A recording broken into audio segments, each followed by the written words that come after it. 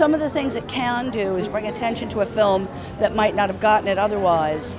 Um, and when that happens, obviously that's great. Sometimes it just underscores the fa- a movie that everybody has, oh, you know, the other festivals have already awarded. And um, it's tough because, you know, we're ultimately you're charged with what's the best film. Um, and that's an incredibly subjective thing.